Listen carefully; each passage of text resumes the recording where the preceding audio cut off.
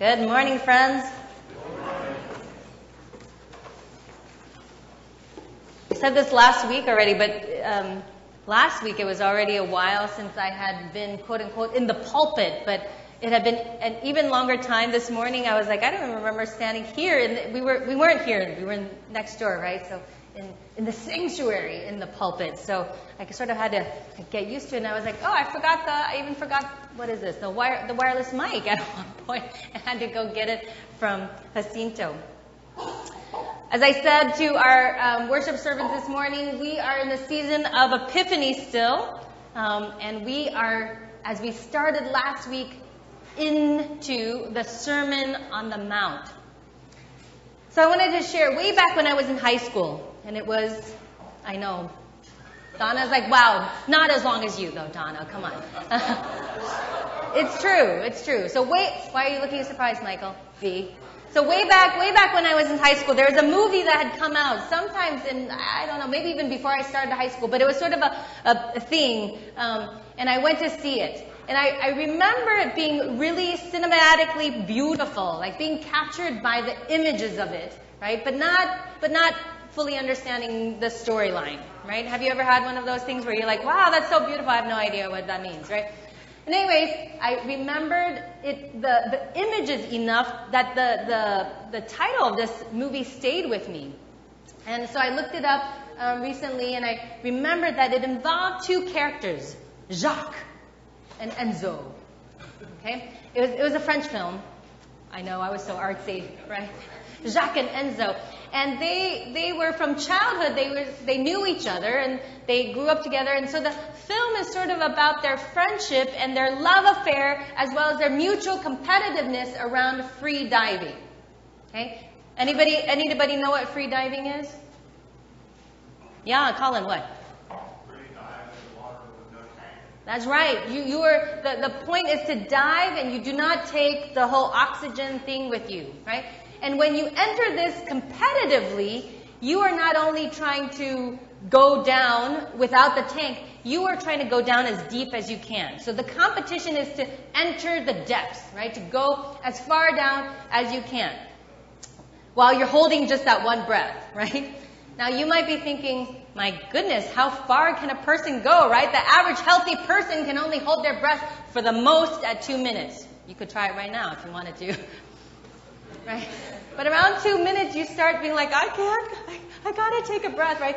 Uh, we played this game when I was a kid, and we sometimes I do it now with the kids when we're trying to go through tunnels, and you're supposed to hold your breath the whole way through the tunnel. I can't even make it through the Posey tube to Alameda, okay, anymore. So I don't know, maybe I'm not so healthy anymore. So how far can you go in just two minutes? Well, you might be interested to know that the world record currently for how far people can get and sometimes they do not do this just manually. They can take machines that pull them down, but they're still on their breath, is 700 feet.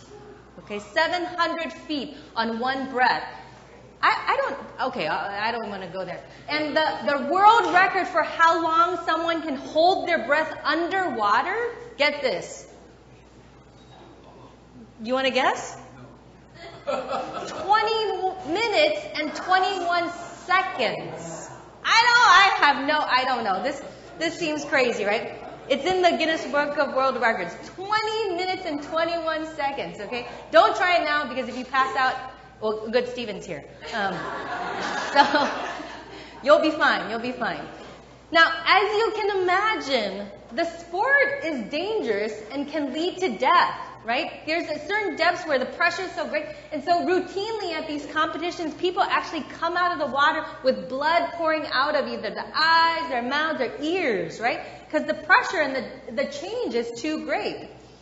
So coming back to the movie, given free diving was wrapped up in the plot line, lots of it was filmed underwater, right? And that's what made it partially so beautiful. Deep, deep underwater. And I remember finding this beautiful, but also terrifying.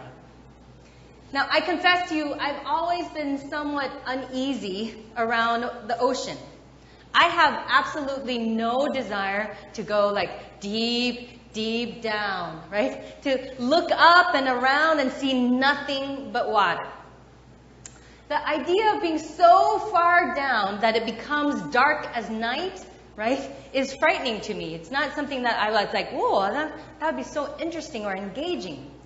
The reality of being in a, in a space with no orienting markers, right, and just to look forward and backward in every direction and only see water, right, feels threatening to me and utterly bewildering. Being in the deep feels fraught with danger and risk, even as it is, I'm sure, filled with wonder and awe. Too many things, it seems to me, can go wrong, whether or not you have that oxygen tank or not. Now, my guess is that I'm not the only one that feels this way, right? Can you, can you, would you raise your hand if you're like, yes, me neither. I do not want to go deep, deep down. No, no, thank you.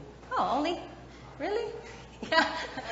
Yeah, right? Right? I'm not alone in this feeling, right? A good many of us gathered here have similar feelings about deep waters. We'd rather not go deep. The surface is good enough for us, right? The surface is good enough for us.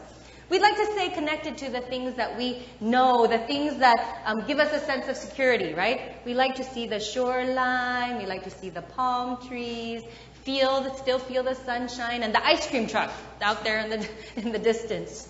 We might consent to go five feet, maybe even 10 feet down, but beyond that, you are definitely pushing it. And we're not interested in pushing limits, right?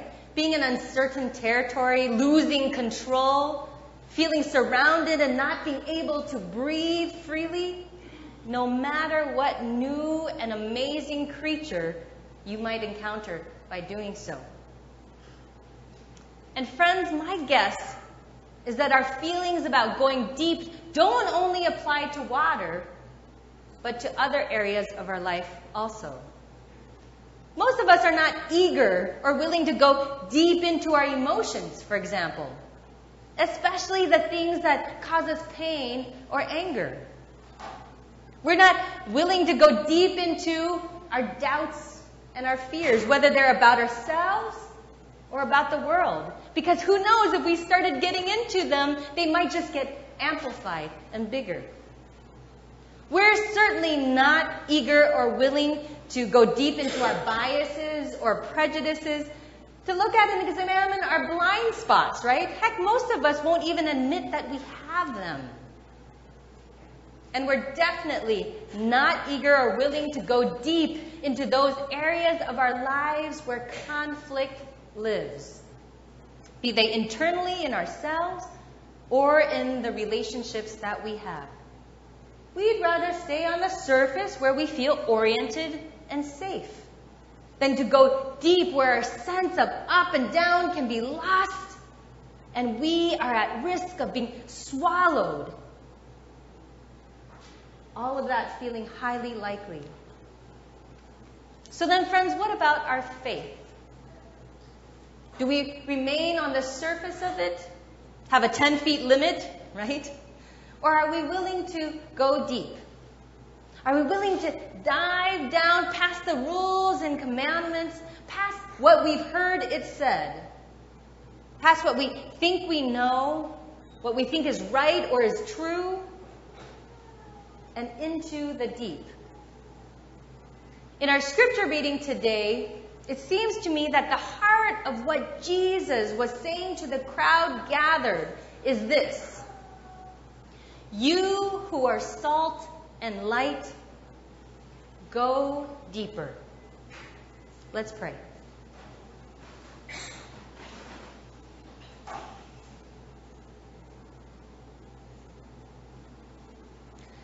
God, we give you thanks because we know you to be a deeper, wider, broader, more expansive God than we can put our arms around or even put our minds around. We give you thanks that you do not stay on the surface with us, but that you are already in the deep. And so we pray that during this time, oh God, you might open us to that possibility for ourselves. Invite us into the waters with you. Help us to come to know the deep in a new way with you. This is our prayer, O God, this morning, and we pray it in the name of Jesus the Christ, who makes the invitation.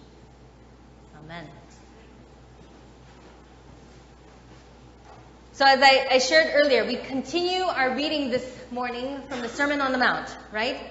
And it's immediately after Jesus had told the crowd that was gathered, right? He said to them, this was the tail end of our reading last week, I have not come to abolish the law, right? This is the, this is the last part. I have not come to abolish the law, but to what?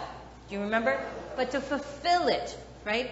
That is what he says. And then he illustrates this exact thing using six points that are rooted in Jewish law. These six points are known as the antitheses. Antitheses because they follow this formula. Did you hear it in what Al and Peggy read, right? They start with this thing about, you have heard it said, right? But I tell you, right? So those become the antitheses to one another.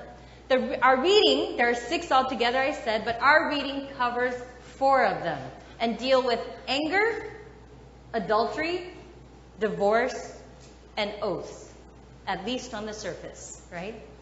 In each instance, Jesus lists up a law that the people would all be like, no, I'm, I'm familiar with this one, right? And I'm not only familiar with it, I'm, I'm totally behind it, right?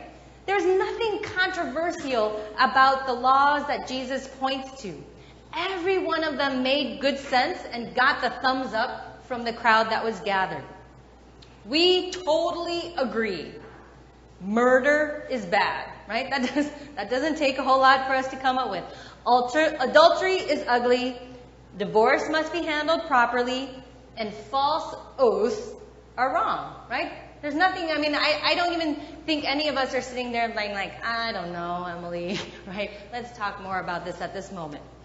So, true to his word, Jesus doesn't suggest that we should get rid of these laws. He does not abolish them, in other words. Instead, he goes deep. We can all agree that murder is wrong, but let's go deeper until we hit upon why people might be murdering one another in the first place, right? Could it be because anger has gone unchecked and turned into hate? Could it be because there's unresolved conflict that has simmered for far too long? Jesus goes deep and invites his followers, most of whom, like us, feel totally removed from the possibility of ever committing murder, right? To dealing with what's far below. And this is much more relevant to us, right? Matthew's sitting there like, I'm not going to grow up to be a murderer. I'm, I'm, I can probably say that with 99% of certainty. And the folks that are, Felix, I think you're the oldest person next to Walter. You're sitting there like, I did not, that was not a, that was not a temptation or a challenge for me all my life, right? All my almost 90 plus years of life, right? Almost 90 almost 90 plus years of life. Walter, are you with me? right? So from the from our youngest person in the room to our oldest elders in this room, right? Murder is not something that we're like, wow. When when the Ten Commandments said that and when Jesus reaffirmed that, I thought to myself, this is going to be challenging, right?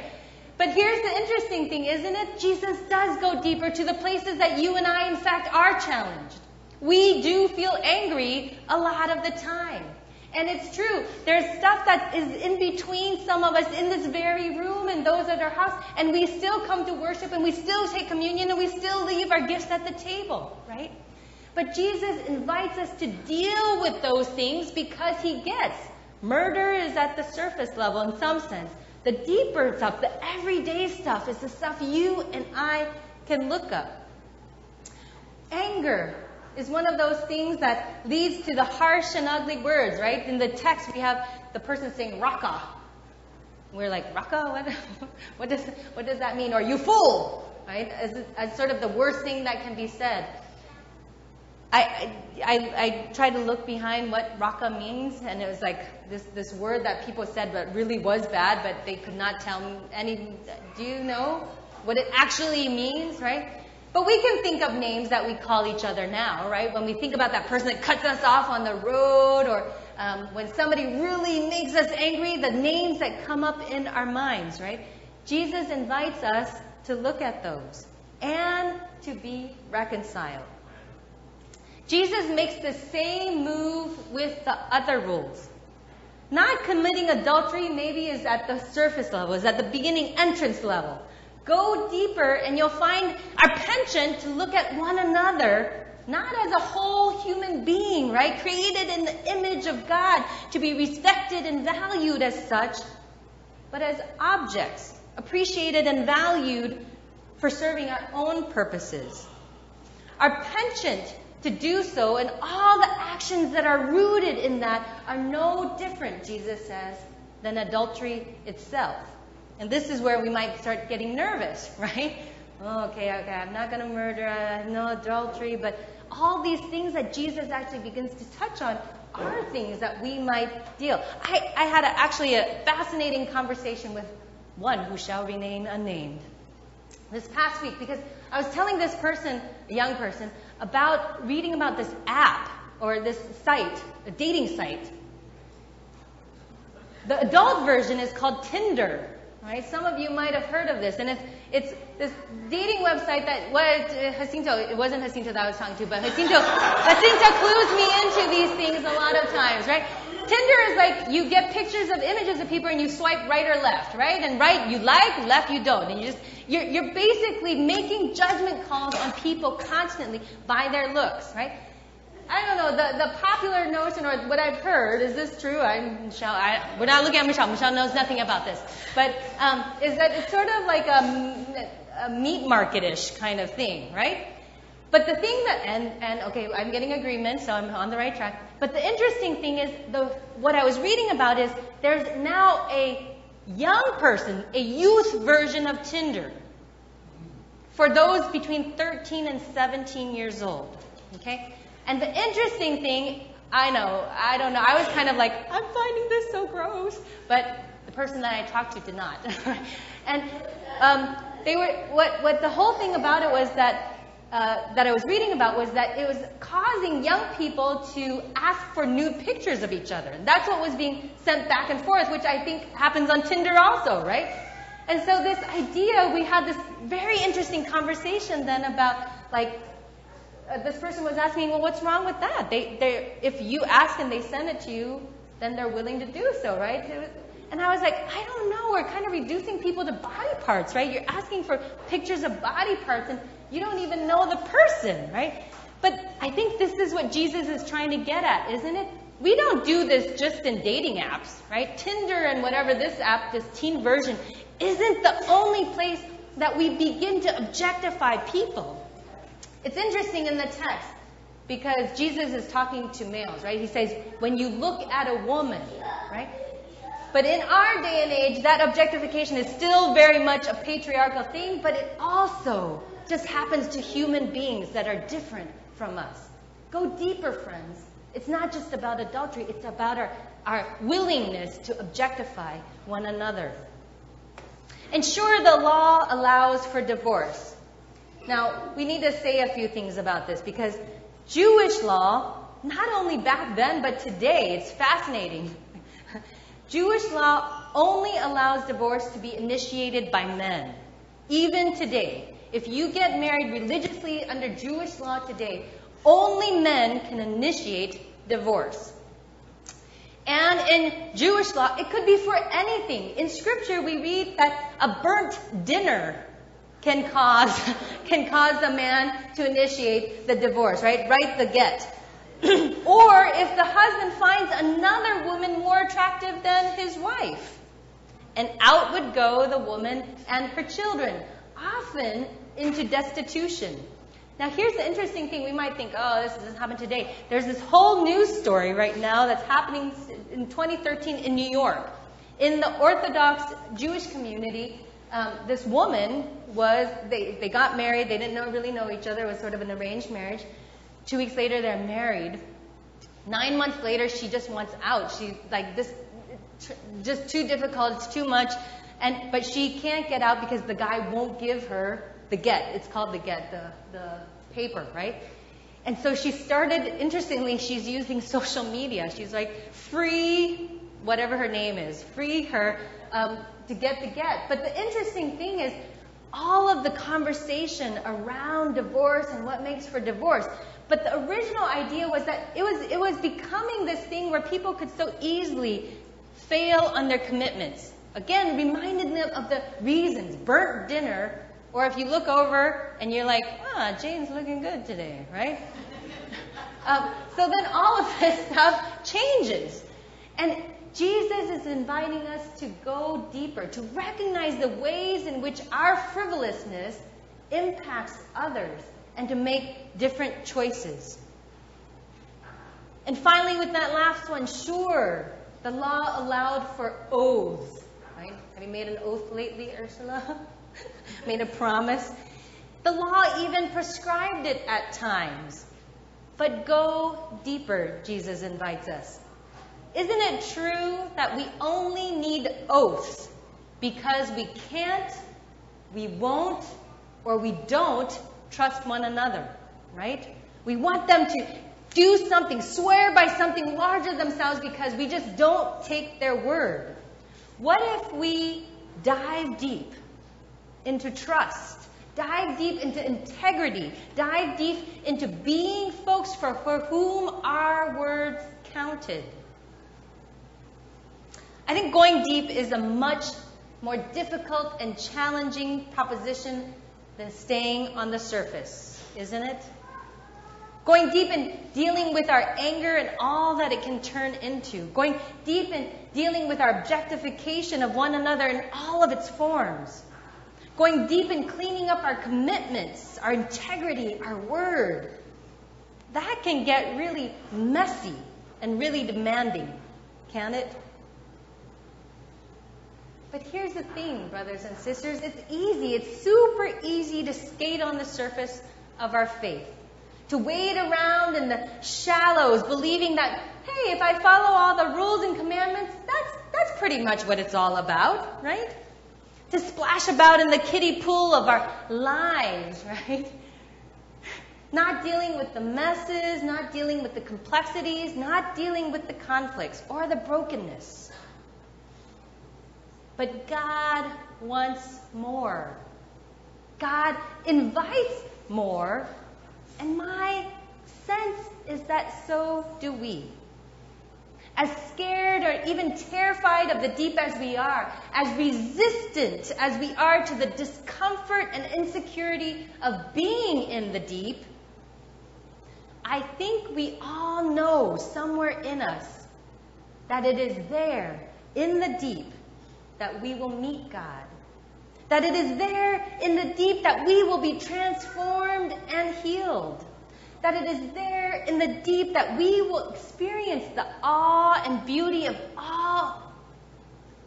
that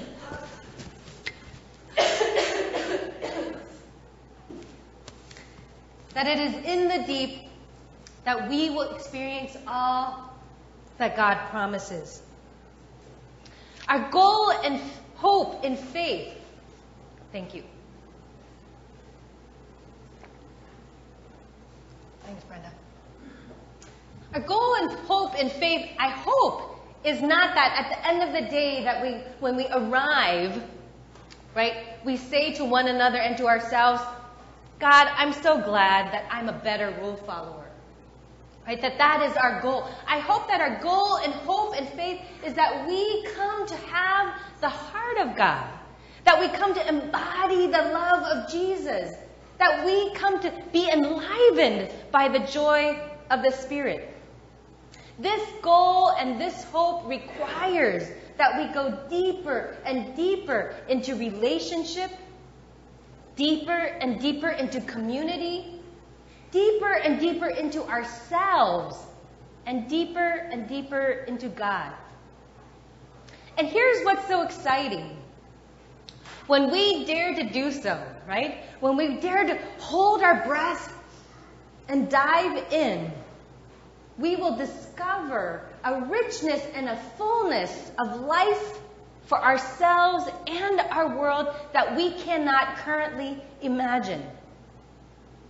Scientists, I don't know, anybody who are water, people that love the water and they read all about the National Geographic stuff about it? Well, I did a lot of free, reading about free diving this week, right?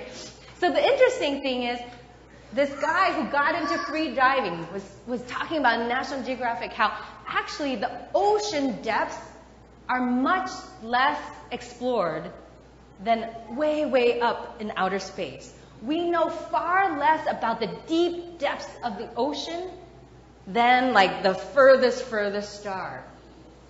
And what he was saying is like, wow, when you go, you you meet creatures that you just have no idea exist, right? You encounter worlds that you just don't know. That's what scientists are telling us today. And I want to suggest, friends, that that is true in our faith also. So will you go deeper? That is the invitation. Amen.